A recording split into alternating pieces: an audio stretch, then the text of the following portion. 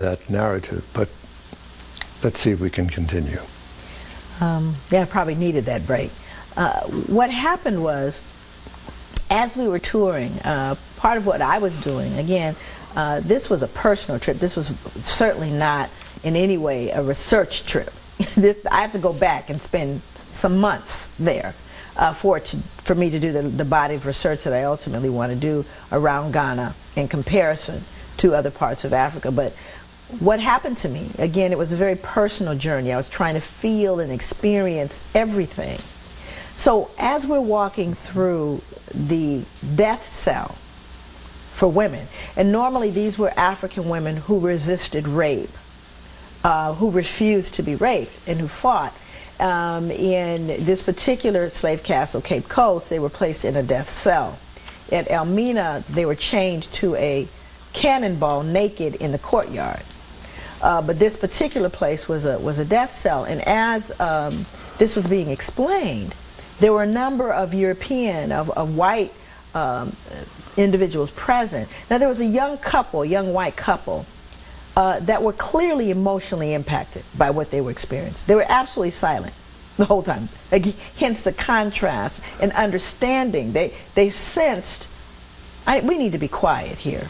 We need to just not say anything. However, that's, that wasn't the case for everyone. And as they were explaining pretty much the agony of these women and how they were dying and how they died, uh, an older white woman broke in, broke into the conversation and said, yes, but look at the architecture. And I was, I can't even explain what, what happened to me. I looked at her. Now let me let me try to explain what was going on, what what she was doing at that moment, because it was so uncomfortable, you see, and it was a reflection of her, of her legacy of of European right. behavior, yeah. and it was so uncomfortable. She decided that I'm going to just change the direction that this is moving in because I am uncomfortable, and that's white privilege, you see. Her white privilege exerted itself in the slave castle on the continent of Africa. Still, she felt like she had a place uh, there that would determine the direction we were going to go in. And of course, I said to her, you don't get to do that. You simply do not get to do that here. And of course, she was shocked out of her mind. Uh, I turned to the tour guard, uh, guide and I said to him, I said, I don't need to be here with her. And I should not have to be here and tolerate her and her behavior. And he apologized. This gentleman turned to me. He says, I apologize for this.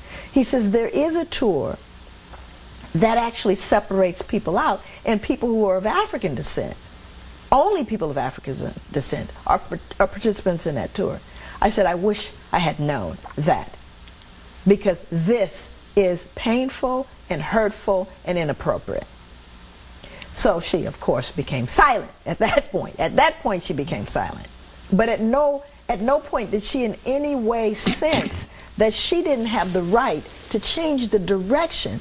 I, do you, you, you, you don't understand how outside of, outside of anything I'd experienced uh, that I felt, I was enraged by that behavior. Here I am on the continent, in the footsteps of my ancestors, and this woman asserts her white privilege, even there.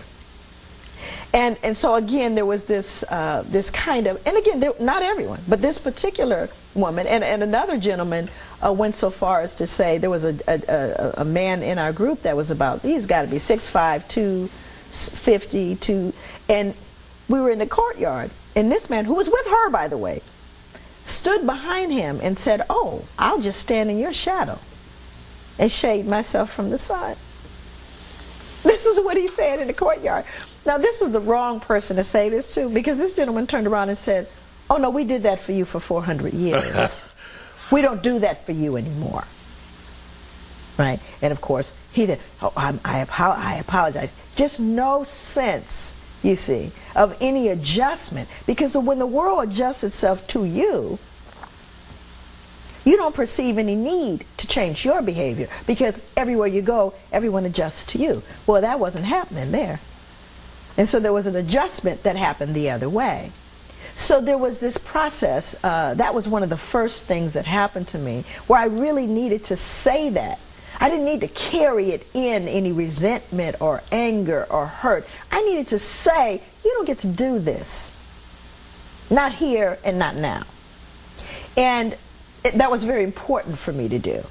It was very important in my own process of, of, of really trying to navigate my feelings and my emotions and this sort of thing. I, I've read of pitched battles that the Africans waged with the slave traders, trying to uh, get their, their family members who had been kidnapped out of those slave forts and back to the village. Did you hear about that? I did.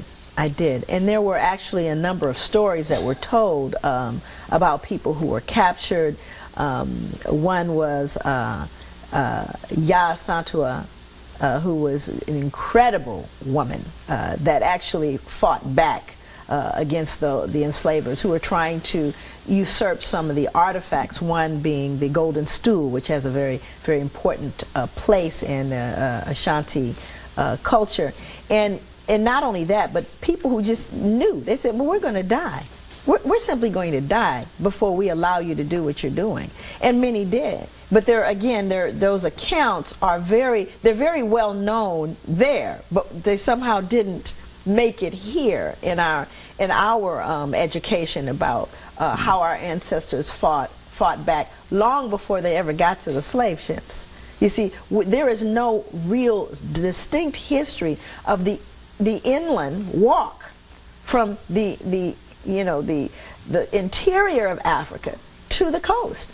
That was a horrendous uh, walk, and many died along the way. Many fought along the way. And those numbers, again, are, have been shielded from, from memory.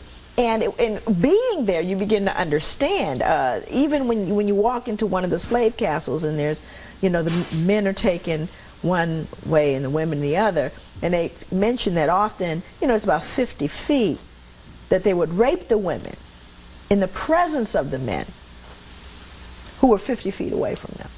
They could not to, to, to do thing, two things. To tell them, one, he can't help you. He cannot protect you. And that you have no power here. That we now have taken and broken your will. This was done almost immediately. The thing that I think was probably, uh, for me, changed my thinking around how I would have written the book. I, you know, when I wrote Post Traumatic, I, I started with this whole idea of the transatlantic slave trade, but I didn't understand that first part. I knew it through books, but with what I know now, I would have written the book differently. Be, I would have clearly. Uh, uh, okay, uh, let's take another break. Maybe I can recoup from what I haven't seen really. And so uh, it's impossible really to grapple with all of the emotion that you uh, are transmitting, much less what you went through while you were actually there. You know, where else did you go besides the slave forts? You said you mentioned I getting into to, the villages and yeah, whatnot. Yeah, well, I, there was um, several individuals that were with us, and one individual in particular who's, who actually was born there, and took us to her village and introduced her, uh, introduced us to her family and to her to her village essentially. And in in Ghana, uh, it's matrilineal. The culture is matrilineal, meaning that you know you follow the the the, the female, the mother's line. Mm -hmm. um, and it was very interesting to see the real. I mean, they're very serious about